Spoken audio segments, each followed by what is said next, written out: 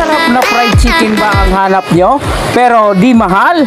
Huwag mag-alala dahil nandito na ang Winnie's Fried Chicken. For only 38 pesos, meron ka ng malaki at masarap na fried chicken.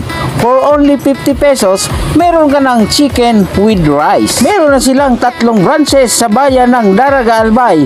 Puntahan ang kanilang main branch sa Barangay Anislag, katabi lamang ng DHRDC. Kung nandito kayo sa sentro ng Daraga Albay, puntahan ang kanilang second branch sa PNR site Barangay Maroroy, Daraga Albay. At siyempre, bukas na bukas na rin ang kanilang pangatlong branch sa Barangay Kimantong, Daraga Albay, katabi lamang ng UB Express Terminal papuntang Sorsogon at Naga City, malapit sa Shell Gasoline Station. Owned and managed by Mr. and Mrs. Opa and Alwin Gravito.